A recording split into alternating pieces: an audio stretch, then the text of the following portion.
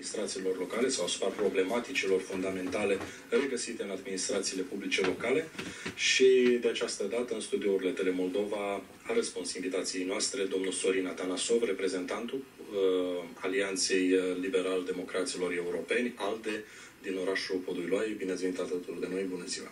Mulțumesc pentru invitație! Domnul președinte, știu că reprezentați uh, pe de o parte ALDE ca și președinte a acestei formațiuni la nivel local, dar totodată sunteți unul din cei care uh, mizați pe candidatura pentru funcția de primar a uh, micuțului uh, oraș din, uh, din coasta municipiului Iași. Uh, cu toții știm că Podul Iloaie în, uh, în ultima perioadă a avut uh, careva îmbunătățiri sub aspectul imaginii, însă cei care locuiesc în această uh, mică urbe uh, reclamă însă existența multor probleme lăsate nesoluționate. Care ar fi principala problemă pe care dumneavoastră, ca și lider politic local, o înțelegeți, o tratați sau o aveți pe agenda dumneavoastră de, de un politic?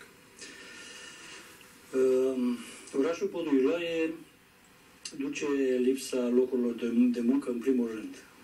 De ce? Pentru că lipsa investitorilor a făcut ca mare populație să, să meargă ori în uh, orașele vecine, ori în localitățile vecine, acolo unde s-a construit, unde au fost acceptați și unde au reușit să obțină un loc de muncă.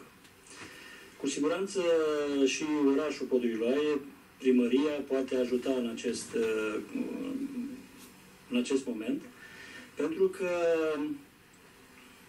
încă sunt posibilitățile și eu cred în proiectul pe care noi, uh, ALDE, l-am, uh, l-am făcut pentru, ca și program al primarului și consilierilor ALDE. Uh, cred în el și putem face astfel încât, ca, astfel încât investitorii să fie prezenți în orașul nostru, prin concesiune de teren, prin închiriere de teren, prin tot felul de metode de acceptarea unei negocieri uh, solubile. Uh, am văzut că ați uh, subliniat faptul că echipa, practic echipa dumneavoastră, echipa ALDE, uh, poate. Care ar fi uh, prima soluție alături de, sau dincolo de atragerea uh, investitorilor asupra orașului pentru a rezolva această problemă a locurilor de muncă. Și aici mă refer la faptul că aveți și un segment de uh, persoane defavorizate. Cum ați abordat dumneavoastră problema acestora? Uh, persoane defavorizate, să putem vorbi de aceste persoane defavorizate atât de uh, ortodoxi, cât și de etnia romă. Uh, ei sunt în aceeași măsură luați în seamă. Uh, la cei ortodoxi, să spun așa, uh, cu toate că și etnia romă este ortodoxă în mare parte. În mare parte, da, dar mulți da, aparțin la confesiuni, da. Da. Uh, lucrurile sunt oarecum aranjate, aranjate. Să știți, uh, s-au făcut și câteva lucruri bune pe timpul mandatului actualului primar. Uh, etnia romă, eu uh, am avut o discuție cu ei și în momentul în care vom reuși să, să ajungem la primărie, vom avea un consilier pe probleme de etnie romă. Am discutat cu dânsul și a fost de acord. Nu pot să-i spun numele deocamdată pentru că nu este necesar, dar cu siguranță vom avea o abordare benefică și în favoarea lor. Practic veți, veți merge pe o soluție integrată, uh, luând în echipa dumneavoastră inclusiv un reprezentant al uh, etniei romilor, e... care practic cunoaște și specificul, dar și soluțiile care sunt necesare. Avem în echipă un reprezentant de etnie romă, uh, consilierul pe probleme de etnie romă va, nu va fi pe lista noastră de consilier.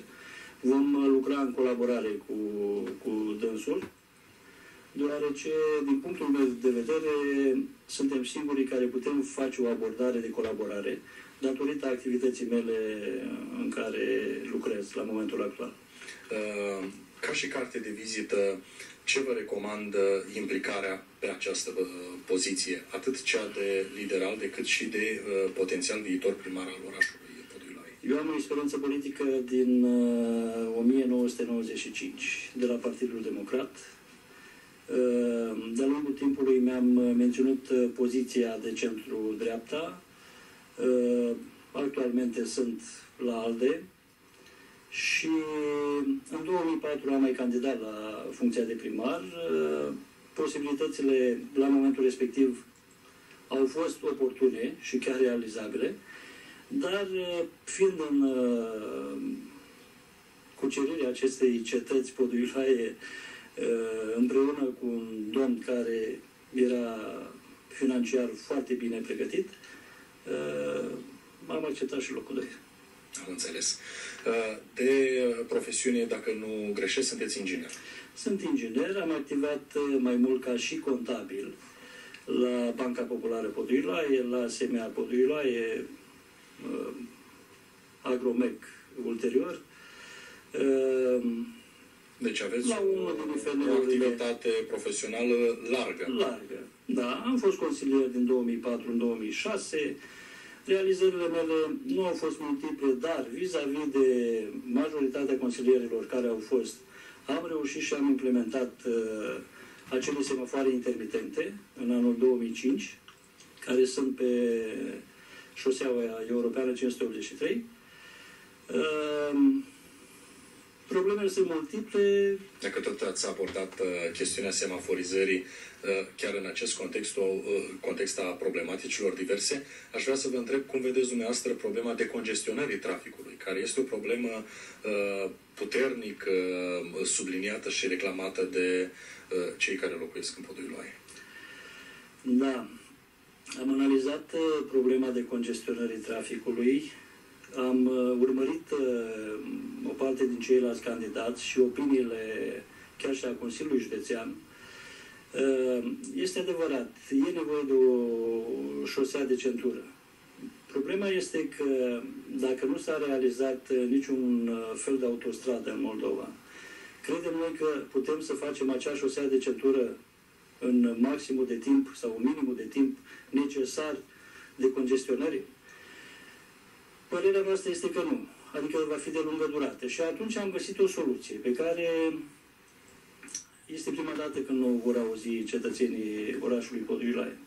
Din punctul nostru de vedere, acel armaroc de la Poduilaie, care este într-adevăr ca un simbol al uh, orașului, uh, ar trebui, pentru a fi decongestionată circulația, ar trebui mutat într-o altă locație. Pentru identificarea acelei locații, rog uh, locuitorii să uh, să-și aducă aminte că în spatele pavilioanelor de la gara, așa se numesc acele uh, trei clădiri, este un loc de aproximativ 2 hectare de pământ, adică 20 de de metri pătrați. Loc care stă de foarte mult timp acolo, este de-a lungul râului Bahluieț, care izvorăște din barajul podului Loaie. Acel loc stând de foarte mult timp, uh, am putea să uh, să aducem acel iar Maroc acolo, ceea ce ar însemna ca eu cred că 80% din uh, cei care vin la Iar Maroc vin din partea localităților Scobulțeni, Nădăjac, Sânești, Dumești, Hoisești, adică de partea dreaptă a râului Babluiet și Bablui. Înseamnă că poziționarea ar facilita și accesul? Aș, ar facilita accesul, odată, și doi, uh, cei care vin din Românești, localitatea Românești, și care sunt obligați să treacă șoseaua, ar uh, trebui să vină pe o, au un drum amenajat care duce undeva de la AEI Dumești spre Românești, iar uh, șoseaua vor străbate doar aproximativ 200-300 de metri.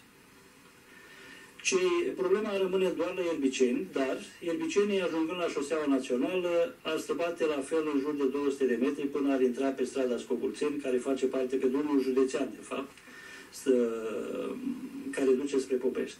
Adică s-ar decongestiona circulația cu foarte mult și cred că e una din soluții pe care o voi propune, indiferent dacă vom ajunge să... În funcție, voi ajunge în funcția de primar sau nu.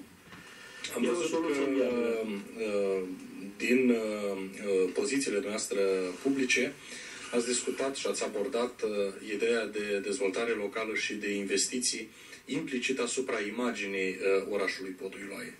Care ar fi direcțiile principale pe care dumneavoastră le-ați abordat pe această chestiune de amenajare, de urbanism, de uh, imagine urbană a orașului? Eu, începând cu 2016, am avut un proiect de administrare publică locală. Uh, posibilitatea de a putea um, pune în vigoare acest proiect uh, mi-a fost un pic tăiată, nu reușind să obțin postul de viceprimar. Știți foarte bine că viceprimarul este gospodarul localității, ceea ce face să vină cu idei, cu proiecte, care să fie puse, puse în dezbatere și totodată puse în aplicare, practic. Ehm, acest proiect cuprinde atât uh, parcurile din zona podului Loaiei, cât și administrarea în ceea ce privește curățenia, coșuri de gunoi, bănci în parc, uh, folosirea parcului care se numește grădină publică, unde este uh, și acea sală de sport, ehm, să fie deschisă, să nu mai fie închisă pe timpul zilei, dar amenajată pentru că, din punctul meu de vedere, nu este într-o stare foarte, foarte bună. Pe lângă acest aspect, consider că parcurile care sunt uh, parcurile cu locuri de joacă pentru copii ar trebui îngrădite, amenajate corespunzător, pentru ca părinții, în momentul în care își aduc copiii la joacă, să poată citi și ei liniștiți într-un uh, scânciop sau uh, Uh, pe o bancă, o carte sau uh, așa mai departe. Locurile putând fi închise, ușa, uh, poarta închisă și așa mai departe. Deci o securizare, practic. O securizare a locurilor, sigur că da. În acest program de administrare locală, bineînțeles că intră și acea infrastructură.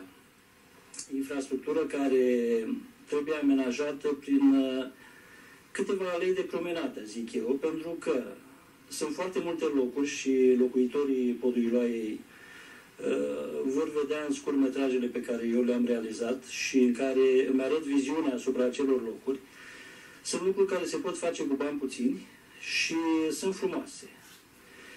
Uh, acest proiect uh, a aleilor de promenadă ne creează posibilitatea ca atunci când avem musafiri, când uh, Uh, coboare cineva în Poduiloaie să poată să ducă numele Poduiloaiei mai departe și imaginea sa. Să rămână cu un sentiment să plăcut cu un sentiment și cu o imagine plăcut. reprezentativă. Sigur, pentru că imaginea Poduiloaiei, din punctul meu de vedere, nu este perceptibilă la nivel național. Sunt foarte multe talente în Poduiloaie. Activitățile culturale, artistice și sportive lipsesc cu desăvârșire. Eu sunt un fost sportiv și am căutat de-a lungul timpului, uh, am fost chiar și doi ani suplinitor profesor de sport la școala uh, gimnazială din Podul și am încercat împreună cu colegii mei, noi terminăm liceul Eminescu uh, din Iași, care era profil sportiv la momentul respectiv, am încercat să aducem acele campionate de fotbal care se făceau la sfârșitul anului. A fost o frumusețe de moment în care copiii, elevii s-au, s-au bucurat foarte mult și în care au fost uh, stimulați. Stimulentul trebuie să vină pentru fiecare persoană. Pentru că eu cred, uh, cred că trebuie să fim atât stimulați cât și recompensați. Dar recompensa de multe ori vine tot de la noi. E adevărat. Practic, dumneavoastră mergeți pe ideea, dincolo de chestiunile de gospodărire efectiv uh, a orașului, să dezvoltați și segmentul educațional sportiv, Cu dar și uh, a construi uh, practic contextul, dacă am putea uh, spune, de petrecere armonioasă a timpului uh, liber, liber în spațiu public. Care să fie valabil, îmi cer scuze da. de întrerupere, care să fie valabil atât pentru părinți cât și pentru copii. Credeți că față de, de această linie pe care o doriți dumneavoastră, orașul Păduiloaie are șanse să devină un punct de atracție și pentru toate localitățile învecinate din punct de vedere a petrecerii timpului liber? Din punctul meu de vedere, da. Da, și uh, chiar pot împreună cu echipa mea să realizez lucrul acesta. De ce? Pentru că localitatea Podiular este o localitate înființată în 1818 în care avem câteva puncte de reper, cum ar fi gara, spitalul din Podul Iulaie, care la fel cred că se poate amenaja ca să fie funcțional cu, cu internări pe o perioadă mai lungă, el fiind la momentul acesta cu internare de o zi, ceea ce implică clar doar o, o analiză a sângelui sau o consultație. Uh, cred că poate fi, să spunem, locul de promenadă a localităților din jur. De ce? Pentru că se pot accesa fonduri europene. Dar atenție, când vorbim de fonduri europene, vorbim de fapt de uh, proiecte pe care noi trebuie să le uh, executăm cu uh, un ONG sau cu orice firmă de această natură care se ocupă, uh, cu atenția sporită a folosirii proiectului pe axa pe care se finanțează acei bani. Adică proiectele europene nu sunt chiar atât de simplu, le-am făcut și am luat bani. E o întreagă istorie în care trebuie să fii foarte atent ca să nimerești și să fii pregătit pentru axa de, de finanțare respectivă.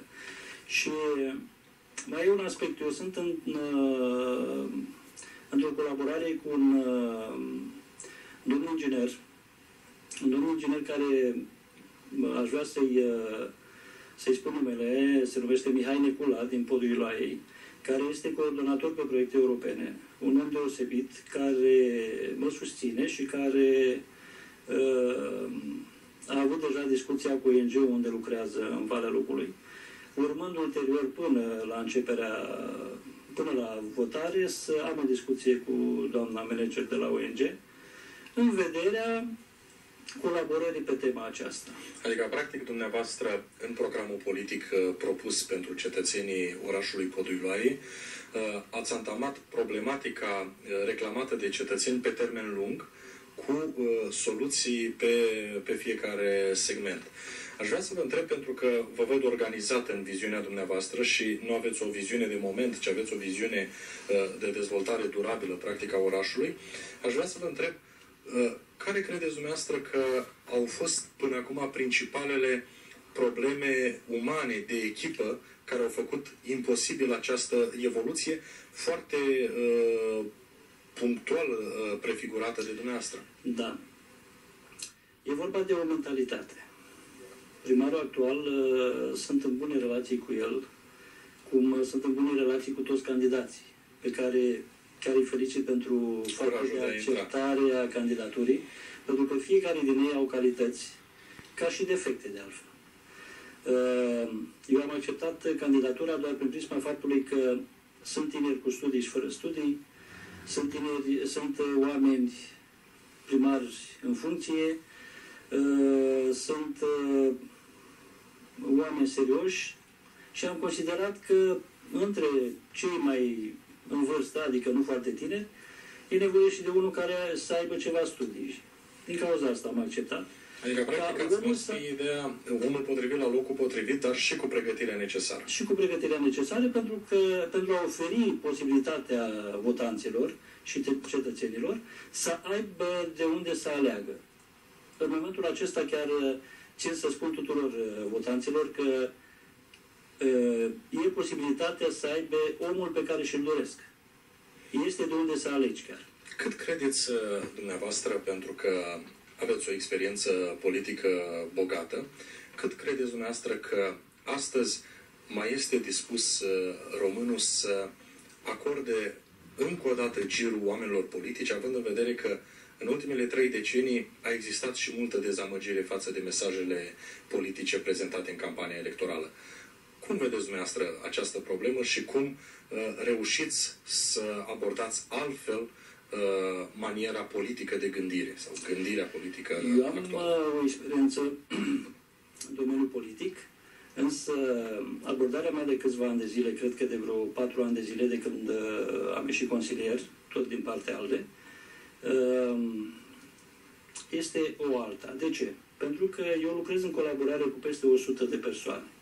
100 de colegi cărora le mulțumesc, le mulțumesc pe această cale că lucrăm împreună și facem o echipă extraordinar de uh, profesionistă și uh, nu este nu este legătura de angajator-angajat, este doar o legătură de colaborare. Vă dați seama că Orice colaborator al meu ar putea, dacă este deranjat de un anumit cuvânt, ceea ce se întâmplă în societatea noastră actuală, uh, poate pleca în orice clipă pentru că sunt posibilități în altă parte. Uh, lucrul acesta m-a făcut să schimb abordarea de lucru cu cetățenii, adică să lucrez în echipă. Referitor la întrebarea dumneavoastră, am făcut această introducere de ce? Pentru că la primărie trebuie să lucrezi în echipă, să știți. În momentul în care ai mentalitatea lucrului bine făcut, dar uh, cu studiu doar din partea ta, vei face lucru foarte bine, dar vei întârzia. Adică, dacă eu, mai simplu și mai popular spus, dacă eu am nevoie de semnături acum, am 10 oameni pe care îi rog să strângă semnături pentru candidatura mea și a consilierilor, decât să mergem toți în echipă pe o anumită stradă, mai bine îi împart în 5 echipe, care să meargă pe 5 străzi odată, timpul este același, și uh, eficiența, numărul, eficiența și randamentul este de 5 ori mai mare. Domnule Sorina Tanasov, aveți o abordare uh, curajoasă, spun eu, și modernă. Uh, aș vrea să vă întreb pe finalul emisiunii noastre, pentru că a rămas doar, uh, doar câteva minute, uh, care ar fi angajamentul punctual care, uh, dacă ați fi provocat, l-ați lua în fața concetățenilor dumneavoastră din podul Angajamentul uh, meu ca și primar ca și candidat la primărie și al, uh, al colegilor mei la Consiliul Local este că uh, sunt alături de cetățeni. Voi fi, adică uh, cel mai important pentru ei la momentul acesta ar fi ca primăria să fie o primărie transparentă și noi ne-am hotărât că putem face lucrul acesta Uh, o primărie unde să intre toată lumea, unde să fie un ghișeu unic, uh, unde să se primească cererea pentru problema respectivă și în decursul zilei respective sau maxim în trei zile să fie rezolvată și trimisă la beneficiar. Uh, ceea ce pot să mai spun este că va fi o localitate cochetă va fi o localitate cochetă, o localitate în care copiii de 1 iunie se vor bucura de ziua și de acele alei de promenadă unde vor fi tot felul de, de jocuri în, uh, pentru ei. Uh, va fi o localitate cochetă în ceea ce privește Crăciunul, Paștele, în ceea ce privesc uh, sărbătorile legale, acolo unde putem să oferim un zâmbet locuitorilor, pentru că, din punctul meu de vedere, le-a cam dispărut zâmbetul de pe față și vă dați seama că și eu, ca și consilier, nu mi este foarte bine. Nu mi este foarte bine pentru că dacă ai majoritatea, poți să faci lucruri. Dacă nu ai majoritate, este foarte greu. E adevărat că ideea de voință politică, uh, odată că este importantă și, doi, este foarte greu de, de obținut. Și bineînțeles că dialogul rămâne cheia succesului uh, până la urmă. Uh, subliniez cu plăcere faptul că v-ați gândit la copii, fapt, faptul că v-ați gândit la sărbătorile uh, principale ale uh, creștinătății și tot în, în acest final de emisiune aș vrea să vă întreb cum priviți dumneavoastră legătura dintre primărie, dintre administrația publică și biserică? Din punctul meu de vedere, sau cum veți colabora? Cum, cum vedeți dumneavoastră uh, legătura mai cu seamă pe fundul acestor uh, momente ale creștinătății care le-ați, le-ați punctat ca și partea programului dumneavoastră? Acum, răspunsul vă dați seama că este simplu, în limite legale. Dar ca să dezvolt, ca să dezvolt, uh, eu am o relație apropiată cu preoții din Podriloaie, dovadă că unul din preoți pe care respect foarte mult este vecin cu mine, ca și casă. Ehm, celălalt, la fel, ehm, am ce discuta cu dumnealui sau invers, dumnealui are ce discuta cu mine și de câte ori ne întâlnim ehm, avem o abordare cinstită și onestă și chiar îl felicit pe această cale pentru că știți că biserica la un moment dat a mai intervenit prin persoane, nu biserica în sine, dar persoanele respective care făceau parte din biserică. Însă Vom avea, vom avea cu siguranță o legătură strânsă pentru că, din punctul meu de vedere, Uh, cimitirul din Poduiloae, ajung tot la problemele Poduiloae, nu pot vorbi la modul general, corect, decât uh, corect. particular, trebuie să fiu subiectiv. Uh, Cimitirul trebuie mult mai bine amenajat și nu a avut ajutorul primăriei, pentru că ar fi trebuit să treacă prin Consiliu, deci ar Ați fi văzut, trebuia corect. să știu. Va fi um, mult mai multă curățenie, va fi ajutată din punct de vedere al uh, aleilor, uh, din punct de vedere al unei părți de gard care trebuie amenajată, cu siguranță, cea din beton, la ea mă refer. Uh, Și cred că va trebui să discutăm cu preoții pentru o administrare mai corespunzătoare. Domnule Sorin Atanasov, nu-mi rămâne decât să vă mulțumesc că ați răspuns invitației Eu vă noastre. mulțumesc invitației. Și cu siguranță ne vom regăsi și în emisiunile următoare pentru a dezbate punctual uh, atât proiectele și, de ce nu, în viitor, modul în care le-ați și implementat. Vă mulțumesc mult pentru participare. Mulțumesc foarte mult. Mulțumesc, stimați telespectatori. Ne revedem cu o scurtă pauză publică.